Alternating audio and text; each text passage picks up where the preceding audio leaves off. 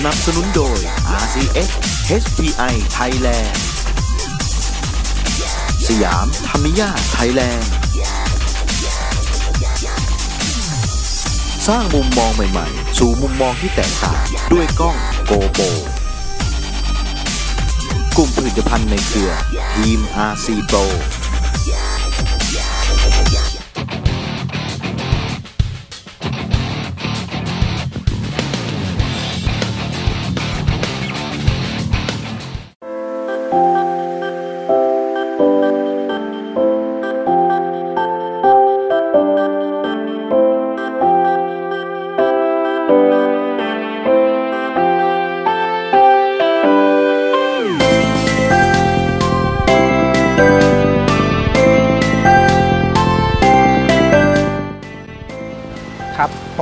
ต้อมสมาคมล้อขวางแอนขบวนการกับ2ฟิชเจอริงสยามสลาลมฮะก็ผมเริ่มเล่นรถดิสมาได้ 4 ปีแล้วครับ เริ่มมาแรก ๆ ก็เล่นเป็น CS มาก่อน จนตอนนี้มาเล่นเป็น RWD ฮะอ่าจริงๆก็ชอบรถจริงนะครับ จริงๆ ชอบรถดิฟที่ที่มันเป็นอะไรที่มันน่าตื่นเต้นดี แล้วพอมาเจอเป็นรถ RC เนี่ย คือมันเหมือนมันตอบโจทย์เราในในความสามารถที่เราเราพอจะ เอื้อมถึง แล้วก็ได้สัมผัสมันนะครับ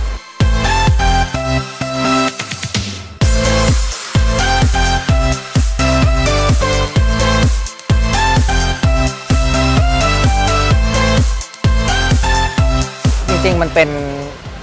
สไตล์การดิฟการบังคับของมัน คือสไตล์ของอาการรถทุกอย่างมันมันคือเสน่ห์เวลาเราเล่นชิดท้ายชิดกำแพงอะไรอย่างนี้หรือว่าเล่นหลาย ๆ คันเนี่ยผมว่า มันมันมีเสน่ห์มากๆ เวลาเล่นด้วยกันหลาย ๆ คันครับตอนนี้ผมเล่นรถเป็น RWD ครับ เป็น Rear Wheel Drive เป็นประเภทดริฟต์ขับหลัง ก็เสน่ห์ของรถดริฟต์ขับหลังเนี่ยคือถ้าใครที่ชอบรถดริฟต์จริง ๆ เนี่ย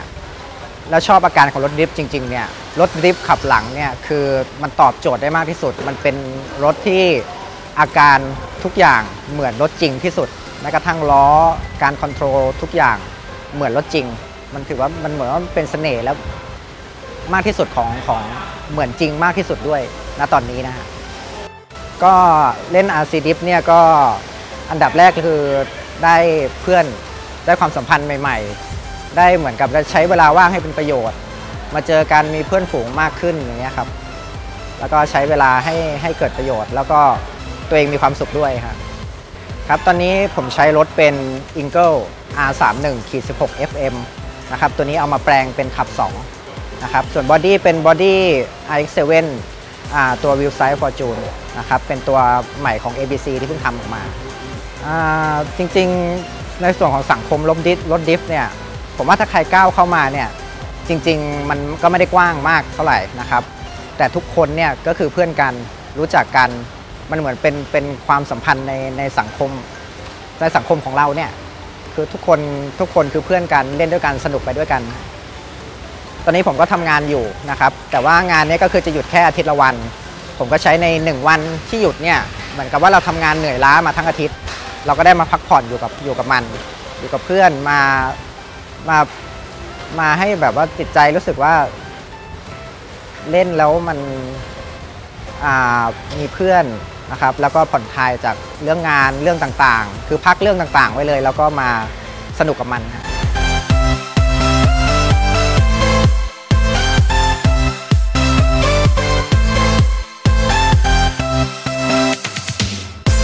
ตอนนี้ผมก็คิดว่าผมก็เล่นไปเรื่อยๆนะครับ ก็เล่นจนกว่าจะจะไม่มีแรงจะเล่นประมาณนั้น เพราะว่ารู้สึกว่าตอนนี้คือมันเข้าเส้น แล้วก็ ชอบมากครับ คือมันหมายว่าเป็นเป็นส่วนหนึ่งของชีวิตเลยณตอนนี้ฮะอ่าสำหรับคนที่อยากจะเริ่มต้นเล่นนะครับ ผมคือผมจะแนะนำว่าให้เราศึกษาก่อนนะครับใจเย็นๆคือเข้าใจว่าหลายคนเนี่ยจะจะใจร้อน คืออยากเล่นก็จะเล่นก็ต้องมีรถเลยอย่างเงี้ยคือผมอยากให้ศึกษาให้ดีก่อน เพราะว่ารถเนี่ยมีหลากหลายค่าย หลากหลายประเภท ลองศึกษาดู ลองมาที่สนามดูว่าเขาเล่นแบบไหน อาการแบบไหนเป็นแบบไหนรุ่นรุ่นไหนเป็นแบบไหน ศึกษาจนจนรู้สึกว่าตัวเองชอบในสิ่งสิ่งนั้น ชอบในแบบไหนแล้วลองเริ่มไปกับมันดูครับ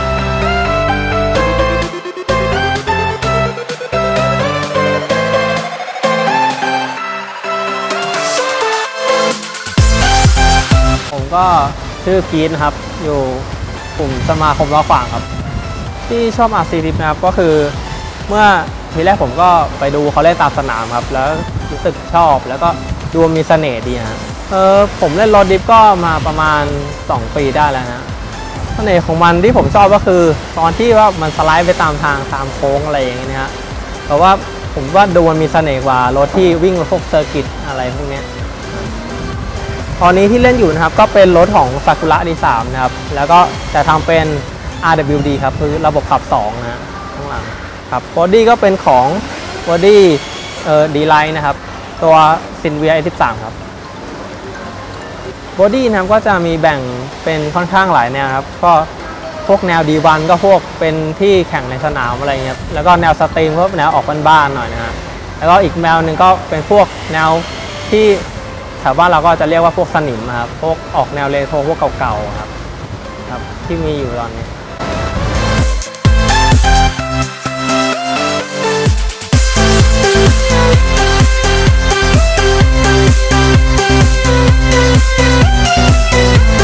ว่ามันให้ในเรื่องฝึกสมาธินะครับ ในการ control รถให้มันได้ตามลายที่เราต้องการนะครับ ผมว่าตอนถ้าจะถามตอนนี้นะก็คือว่าไม่มีแบบที่จะเลิกอะครับ รู้สึกชอบมากครับผมว่าสังคมรถดิมครับ แต่ละคนก็พี่ๆแต่ละคนค่อนข้าง take care ดีครับ มีให้คำปรึกษาไม่หยิ่งไม่อะไรฮะผมว่าดีมากครับ การซื้อรถของผมนะฮะเมื่อเมื่อก่อนนี้ครับก็คือ ผมก็จะถามพี่ที่อยู่ในทีมของตัวเองครับให้เขาช่วยเซตให้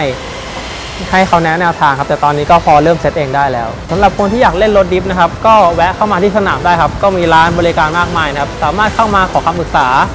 มาปรึกษาพี่เขาได้เลยครับ ขอบคุณมากครับ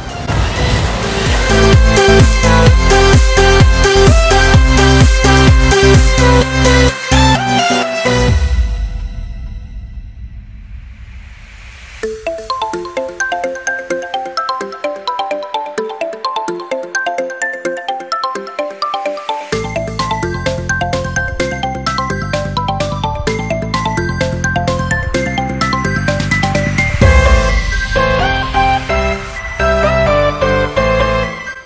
ผมชื่อเคนะครับผมเคเล่นรถมานานประมาณปีกับอีกหนึ่งเดือนประมาณนี้จุดเริ่มต้นที่เล่นรถดิฟเนี่ยจริงๆที่ที่มาเนี่ยไปเล่นบักกี้ก่อนอ่าแล้วก็ เรา มันมยังไม่ใช่เราเราก็หาจนจนเข้ามาที่สนาม แล้วเห็นเขาเล่น มันสนุกดีแล้วก็มันเป็นแบบสไตล์ที่ที่เรา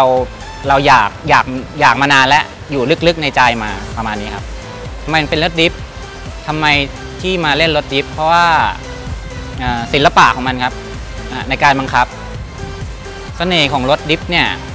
ของผมเนี่ยสำหรับผมเนี่ยรถดิฟเนี่ยมันจะต้องมีความเร็ว การสะบัดการสาดการวิ่งเข้าไปหาคู่คู่แข่งหรือเพื่อนเราเนี่ยต้องต้องทำให้สนุกเล่นให้สนุก ถ้าเป็นรถ drift เนี่ยที่ผมชอบจริง ๆ แล้วจะเป็นตัว ตัวโครงรถมากกว่านะตัวที่เป็น body เนี่ยจะรองลงมา ตอนนี้ผมใช้ body เป็น Z4 นะครับผม เป็นเล็กๆ ไซส์เล็กๆนะแล้วก็ตัวรถเนี่ยเป็นแชสซีของ ARD นะครับ แปลงเป็นขับ 2 แล้วก็แปลงอีกเป็น ตอนแรกมันเป็น motor midship นะผมสลับมอเตอร์ไว้ข้างหลังเป็น rear midship motor อยู่ด้านหลังครับผมเสน่ห์ของขับ 2 ผมเล่นก่อนหน้านี้ผมเล่น CS มา แล้วเวลาผมเซตรถ ผมจะเซตรถให้ล้อขวาง แต่มันยังไม่สุดยังไม่สุดที่มันยังขวางไม่เหมือนรถจริงตลอดทั้งโค้ง ได้มาเห็นก็คือจากคลิปของทางญี่ปุ่นนะฮะที่เขาเล่นกันเป็นขับ 2 แรก ๆ เนี่ย ล้อเขาจะขวางตลอดโค้งตลอดเวลาเนี่ยแหละครับเป็นจุดเริ่มต้นที่อยากอยากขับอยากเปลี่ยนมาเป็นขับ2อาซีดิฟนี่ให้เพื่อนผมเลยครับผมให้เพื่อนนะมิตรภาพความสนุก สังคมรถดิฟเนี่ยไม่ที่เห็นเนี่ยมันไม่ใช่คนเล่น RC เนี่ยไม่ใช่แบบว่าเด็กบ้านๆคือแบบเป็นเพื่อนดีๆ มีแต่เพื่อนดีๆนะฮะเข้ามาช่วยเหลือกันตลอด รถดิฟเนี่ยมันเป็นศิลปะของเรา เราจะขับยังไงให้มันสวยงาม หรือเราจะขับไงให้มันดุดัน เราเลือกสไตล์ของเราได้ครับ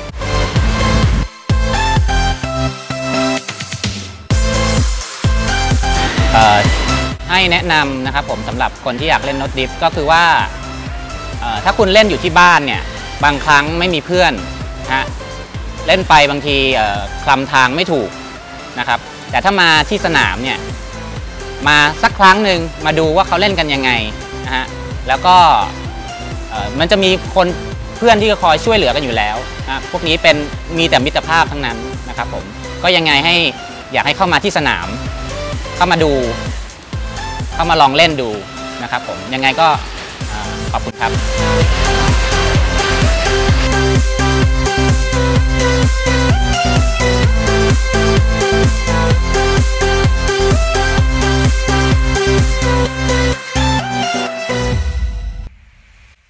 เขตครับ เล่นอยู่ที่สนาม RC City ครับ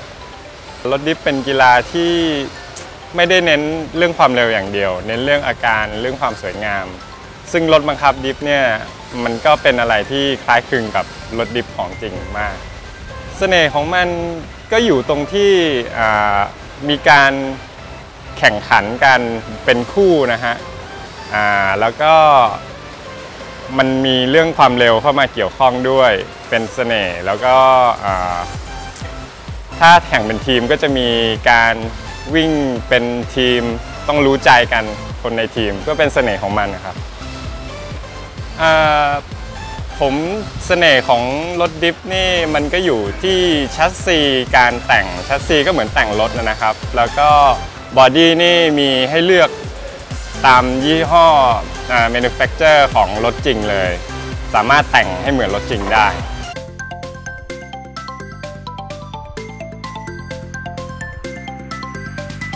ตอนนี้ผมใช้ชัสซีของ Alex Racing นะครับอ่าแล้วก็ body นี่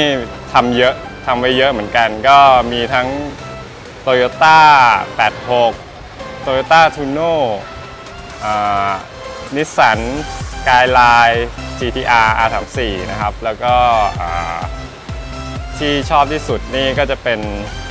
Nissan S13 body ที่มีอยู่นี่ผมก็จะทำสองแนวครับ ก็เป็นแนวรถบ้านหรือที่พวกเราเรียกกันว่า street อ่าแล้วก็อีกแนวหนึ่งก็จะเป็นแนว GT สติกเกอร์เยอะๆ อะไรเงี้ย แนว D1 ของญี่ปุ่นนะครับ ส่วนใหญ่ผมก็ไม่ค่อยมีเวลาว่างมากนะครับ ก็จะเข้ามาเล่นที่สนามกับเพื่อนๆเนี่ยอาทิตย์ละวัน 2 วันแค่นั้นเอง แต่ว่าความสนุกของการเล่น RC เนี่ยมันอยู่ที่ว่าคุณมีเพื่อนที่รู้ใจเล่นกับคุณแค่นั้นเองเสน่ห์ของรถ drift ที่มันขับเคลื่อน 2 ล้อหลังนี่คือรถ drift ที่เป็นรถจริงเนี่ยก็ขับเคลื่อน 2 ล้อหลัง เพราะฉะนั้นอาการ caster มุมล้อเนี่ยมันก็จะเหมือนกัน การเล่นอาจจะไม่ได้ยากเย็นอะไรนะ เพราะว่าอาจจะมีอิเล็กทรอนิกส์ช่วยบ้าง แต่ว่าอาการที่ออกมาวิชวลของตัวรถที่ออกมาเนี่ย มันทำให้เล้าใจคนดู เพราะว่ามันเหมือนรถจริงมากครับ ค่อนข้าง